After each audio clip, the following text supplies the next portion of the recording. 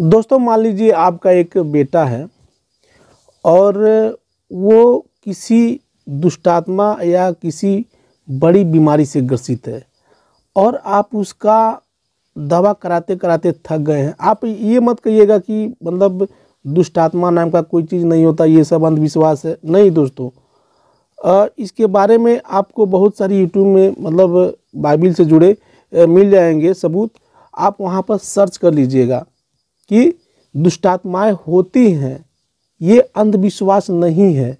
ऐसे में आप उसे बड़े बड़े डॉक्टर, सोखा ओझा, तांत्रिक से दिखाकर परेशान हो गए हैं। आपको इधर उधर कुछ समझ में नहीं आ रहा है। चारों तरफ़ अंधकार दिखाई दे रहा है कि मतलब मेरा बेटा कैसे ठीक होगा। आप हर जगह माथा टिका करके थक गए हैं, हर जगह से परेशान हो गए हैं। ऐसे में कोई भाई आता है और कहता है कि दोस्त, मैं आपको एक ऐसा जगह बताऊँगा, एक ऐसे व्यक्ति के बारे में बताऊँगा, वो वो आपके बेटे को जड़ से हर चीज़ जो है ठीक कर सकता है, आपके घर में फिर से वैसी शांति बनी रहेगी जैसे पहले थी। तो आप क्या करेंगे? अब वह भाई ये भी बताता है कि मेरे वहाँ एक प्रार्थना सभा होता है जहाँ पर बहुत से ऐसे लोग आते हैं जो कि बाइबल अध्ययन करते हैं, बाइबल का वचन सुनते हैं और बहुत सारे ऐसे दुष्ट आत्माएँ, बहुत सारी ऐसी बीमारियाँ जो है दूर हो जाती हैं और लोगों का जीवन बदल जाता है। एक्चुअली जो इंसान के अंदर सैकड़ों बुराइयाँ भरी होती हैं, वो इंसान जब वहाँ जाता है और वहाँ का वचन उसके अंदर जाता है और उस पर इंसान ऑटोमेटिकली चलने लगता है और उसके जीवन में बदलाव नज़र आता है। उसके जीवन से धीरे धीरे बुराइयाँ कम होती नज़र आती हैं। अगर ऐसा कोई भाई बताए और वो बीमारी आपके बेटे का जड़ से ठीक हो जाए तो आप क्या करेंगे? वहाँ पर आप धर्म देखेंगे रीति रिवाज देखेंगे, या फिर आप अपने बच्चे का प्यार देखेंगे। मुझे पूरा यकीन है कि आप ना ही किसी धर्म को मानेंगे, ना ही किसी रीति रिवाज को मानेंगे, आप केवल सच्चाई को मानेंगे। आप उसको मानेंगे जिसको जहाँ से आपको सही रास्ता मिलता हो। हाँ ये तो ठीक है कि लोग यीशु में जाते हैं, यीशु का वचन सुनते हैं और ठीक हो जाते हैं, लेकिन लोग अपना धर्म क्यों बदल लेते हैं? ऐसा आपके मन में ख्याल आता होगा। देखिए, परमेश्वर ने कहीं नहीं कहा है कि मैं धर्म बनाने आया हूँ या किसी को ईसाई बनाने आया हूँ, या तुम लोग मेरे धर्म में आ जाओ। परमेश्वर ने कहा है कि मेरे वचन को, इस बाइबिल के वचन को अपने छत पर लेकर प्रचार करो। मेरी बातों को, इनको उनको बताओ, उसमें एक प्रतिशत झूठ नहीं होना चाहिए। ये धर्म रीति रिवाज ये तो सब लोगों ने बनाए हैं अपनी अपनी सुविधा के लिए, लालच के लिए। जैसे मान लीजिए हिंदू, मुस्लिम, सिख, ईसाई, ये तो सब लोग अपने मतलब धन कमाने के लिए बनाए हैं। ये ये समझ लीजिए आप। अब आप ये कह सकते हैं कि अगर धर्म नहीं होता तो हमें अच्छाई और बुराई का ज्ञान कैसे होता? क्या अच्छा है, क्या बुरा है, क्या पाप है, क्या पुण्य है? ये हमको कैसे पता चलता? परंतु क्या कहती है यह कि वचन तेरे निकट है, तेरे मुँह में और तेरे मन में है। यह वही विश्वास का वचन है जो हम प्रचार करते हैं। विश्वास करे कि परमेश्वर ने उसे मरे हुए में से जिलाया तो तू निश्चय उद्धार पाएगा। देखिए भाई साहब, परमेश्वर ने पहले से ही जब बच्चा जब कोई बच्चा जन्म लेता है और धीरे धीरे वो बड़ा होने लगता है तो उसके मन में ये आभास हो जाता है कि क्या अच्छा है क्या बुरा है। अगर हम उस बच्चे को अ, किसी को मान लीजिए किसी को मारना सिखाएँगे तो ज़ाहिर सी बात है उसका मन कहेगा कि नहीं ये गलत है उसे मत मारो। अगर किसी का खून करना सिखाएँगे तो ज़ाहिर सी बात है वो उसका मन कहेगा कि ये गलत है ये मत करो। वैसे ही हम कोई अच्छा काम करना सिखाएँगे जैसे बेटा पापा से झूठ नहीं बोलना चाहिए अ, हमेशा सच बोलना चाहिए कभी कोई गलत काम नहीं करना चाहिए तो उस बच्चे के मन में ये आभास होता है कि ये गलत है और ये सही है। तो बताइए धर्म की क्या आवश्यकता है? धर्म तो हमें आपस में लड़ाता है जैसे एक धर्म में बहुत सारे रीति रिवाज बने होते हैं। ये धर्म तो वो धर्म ये नियम तो वो नियम। आखिर क्या ज़रूरत है? अगर धर्म इतना अच्छा होता तो धर्म के नाम पर एक दूसरे की जो है अ, मतलब ऊंच नीच भावना से नहीं देखा जाता। आज हिंदू कास्ट में देख लीजिए लोग कोई कोई ऊंच है तो कोई नीच है।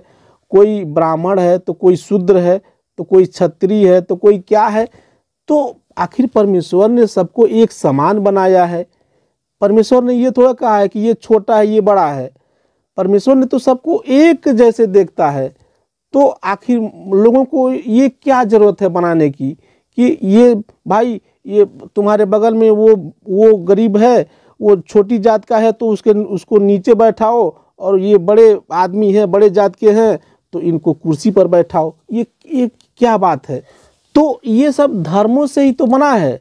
देखिए, जो परमेश्वर किसी को छोटी निगाह से देखता है, किसी किसी को बड़ी निगाह से देखता है, वो कभी सच्चा परमेश्वर हो ही नहीं सकता। वो पक्षपाती परमेश्वर हो गया ना।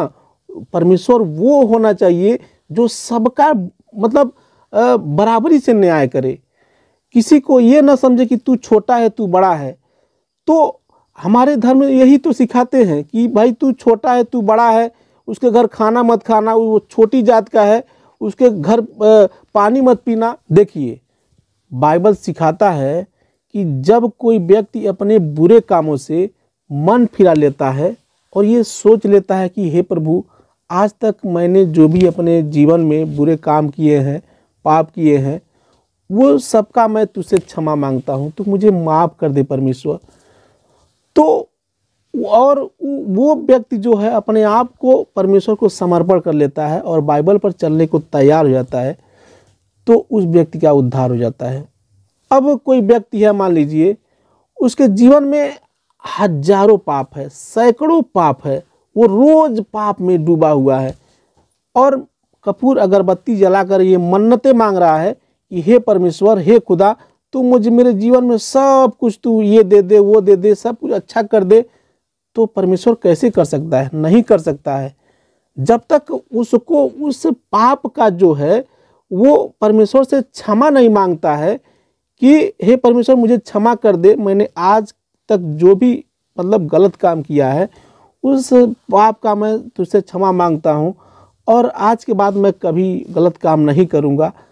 तो वो तब न वो परमेश्वर क्षमा करेगा। तब न उसे जो मांगेगा वो वो मन्नतें पूरे पूरी करेगा। लेकिन वो फिर भी वो इंसान जो है अ, मन तो बदल नहीं रहा अपना। मन फिराव तो कर नहीं रहा है। वो इंसान अपने उसके जीवन में अ, पाप है। बुरे बुरे काम करना नहीं छोड़ रहा है। लेकिन परमेश्वर से मन्नतें मांग रहा है कि मुझे ये दे दे वो दे दे। अब सारे धर्म यही सिखाते हैं कि परमेश्वर को कपूर, अगरबत्ती, नारियल, तेल से भी तो खुश किया जा सकता है। और करते भी हैं लोग, जो धार्मिक के लोग होते हैं, जो मतलब धार्मिक नहीं कह सकते हम उनको, जो यानी जो धर्म से जुड़े हुए लोग होते हैं, वो लोग करते भी हैं। परमेश्वर को कपूर, अगरबत्ती जलाते हैं और पता नहीं क्या क्या चढ़ावा देते हैं। क्या ज़रूरत है? सब कुछ उसी ने तो बनाया है। आप बुरे काम करना छोड़ेंगे नहीं। और परमेश्वर से मन्नतें मांगेंगे, कपूर, अगरबत्ती जलाएँगे, बलि चढ़ाएँगे, ये चढ़ाएँगे तो वो कैसे पूरी करेगा? नहीं करेगा। अगर सच्चा परमेश्वर है तो वो आप सबसे पहले आपको बदलेगा। आपके अंदर से वो बुरी चीज़ें निकालेगा जो आपके अंदर भरा हुआ है। तब आपका कहीं वो मन्नतें पूरी कर सकता है। अब मैं अपनी कहानी बताता हूँ। मैं एक हिंदू फैमिली से हूँ और मेरे पिताजी सारे हिंदू रीति रिवाज को मानते थे। मेरे बड़े भाई के ऊपर एक दुष्टात्मा रहता था, जो कि बहुत परेशान किया करता था। बहुत पैसा मेरे पिताजी उसके ऊपर खर्च कर चुके। तमाम सोखा, ओझा, तांत्रिक को बुलवाए। एक बार तो मेरे गाँव के बगल से एक तांत्रिक आया था। वो मेरे पूरे घर में एक जाल बिछा दिया था। पूरी रात भर हवन पूजा पाठ करता था। और हम लोगों से उसके, उसकी जो है माथा टिकवा कर दंडवत करवाता था। ऐसा जो है ऐसे ऐसे हफ़्ते दिन तक चलता रहा। पूरी रात हम लोग जागते रह गए। और उसे कुछ हुआ भी नहीं। वो जो है मतलब आप लोग देखते होंगे कि जब कोई इंसान जो यीशु में मतलब विश्वास नहीं करता है, मैं उसकी बात कर रहा हूँ, वो तांत्रिक और सोखा ओझा के पास तो जाते हैं और वो लोग ठीक भी कर देते हैं, लेकिन हमेशा के लिए नहीं, कुछ पल के लिए। उनके जीवन में जो है, कुछ दिनों के लिए शांति बनी रहेगी, लेकिन उसके बाद जो है, फिर वो दुष्टात्मा उनके घर में जो है, तांडव करने लगती हैं। पूरे घर में अशांति फैला देती हैं। कहीं उसको मार, काट, पीट, सब घर में चलता रहता है। तो कुछ दिनों के लिए तो मेरे घर में भी शांति बनी रहती थी लेकिन कुछ दिनों के बाद फिर वही नौटंकी शुरू हो जाता था। आ, फिर वही मतलब मार झगड़ा क्या क्या नहीं सब कुछ हम, हम मतलब झेलना पड़ता था। लेकिन कुछ दिनों के बाद चल के मेरे पिताजी का देहांत हो गया और उसके बाद एक हमारे रिश्तेदार आए थे हमारे घर यीशु का पैगाम लेके सुसमाचार लेकर। और तभी से तो हमारे जीवन में मतलब बदलाव शुरू हो गया। हमारे जीवन में एक नया आनंद आ गया। वो कहे कि आप हमारे वहाँ एक प्रार्थना सभा होता है, चर्च बैठता है। आप वहाँ आइए और वहाँ का, वहाँ के जो लोग हैं, उनकी बातों को सुनिए। वहाँ पर मैं गया, करीब मेरे वहाँ से पचास किलोमीटर दूर एक चर्च पड़ता है। मैं वहाँ गया और मैंने देखा कि वहाँ सब लोग मतलब हर कास्ट के लोग थे हर जाति के। लेकिन वहाँ कोई भेदभाव नहीं था। वहाँ सब लोग एक दूसरे से हाथ मिलाते थे नमस्ते करते थे एक साथ खाते थे पीते थे सब कुछ एक साथ। मतलब मैं ऐसा पहले कभी देखा ही नहीं था। मैंने सोच लिया था कि अब मेरा सपना यहीं पूरा होगा। और ये मैंने तभी से जान गया कि आ, सच्चा परमेश्वर मुझे यहीं मिल गया है।